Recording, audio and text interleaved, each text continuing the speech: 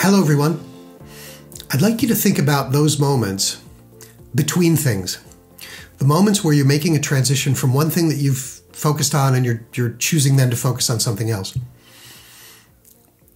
Are you satisfied with the choices that you're making in those moments? Are they deliberate? Are they well informed? Could you justify those choices that you're making? Or are you finding that you're basically just being driven by whatever's arriving in your world? I was uh, reading uh, or rereading an article um, I absolutely love. There's a, uh, a Zen master, Buddhist teacher, um, uh, a Vietnamese um, peace activist named uh, Thich Nhat Hanh. And Thich Nhat Hanh took that great old quote, don't just sit there, do something.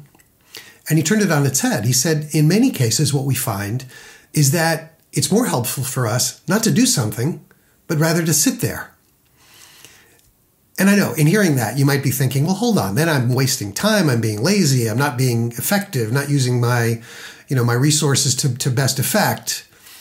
But let me try to make a case for this. If we do find that we take a moment and we carefully consider what we do next, then we almost certainly are going to make better choices. You know, one of my favorite um, thought experiments ask yourself the question the next time you're between things, and you're drawn, let's say, to your email inbox, what are the chances that of all of the things that you could focus on in that moment, your email inbox would be the best thing? And, and the top email, the last thing to arrive, would be the best thing for you to focus on.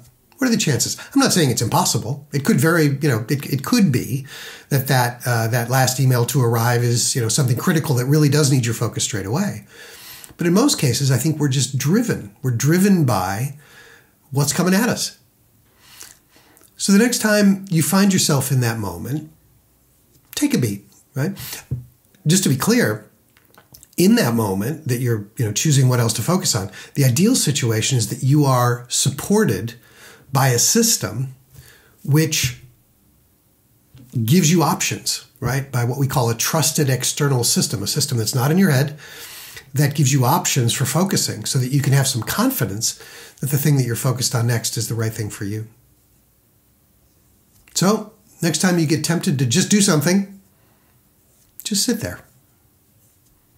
I hope that was helpful. Um, as always, please do like and subscribe. And if there's anything else that we can do to support you on your journey to stress free productivity, please let us know.